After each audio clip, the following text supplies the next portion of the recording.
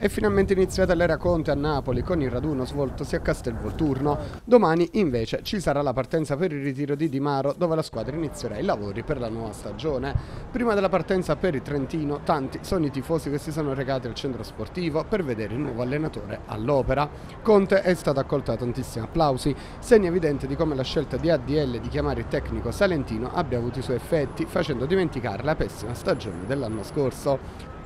Tre sorrisi in campo, però Conte deve risolvere alcune grane non di poco conto. Il suo arrivo a Napoli certamente poteva essere più sereno, ma adesso c'è bisogno di ricucire alcune ferite aperte. La prima riguarda Di Lorenzo, con il calciatore che aveva chiesto la cessione dopo un brutto faccia a faccia con Manna, dove certamente la verità si trova nel mezzo. Conte vuol mediare, vuol trattenere il calciatore, in quanto si sposa perfettamente con la propria idea di calcio. Trattenerlo significherebbe avere un acquisto non di poco conto in rosa. Altra grana riguarda Kvara, il calciatore georgiano, nonostante abbia più volte sottolineato il proprio amore per Napoli, sembra voler andare via. Sicuramente c'è lo zampino del suo entourage, con il padre impegnato a rilasciare alcune interviste fuori dall'Italia, volte a destabilizzare la formazione azzurra internamente.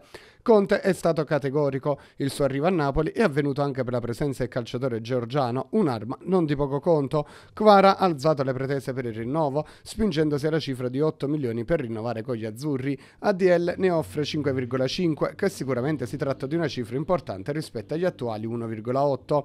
Fatto sta che Napoli si fa forte degli anni di contratto che lega Kvara a Napoli.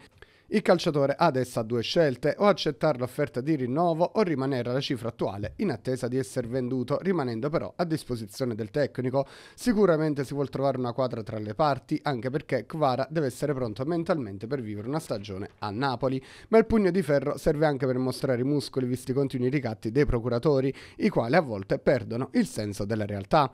In ultimo c'è la situazione Osimen, il calciatore nigeriano vuole andare via, il Napoli vuole accontentarlo, ma le offerte da adatte non arrivano ancora. L'obiettivo è di venderlo entro metà luglio e il Napoli magari deve abbassare un po' le proprie pretese per vedere il calciatore partire. La sua vendita serve a far cassa con la maggior parte del denaro da investire sul calciomercato.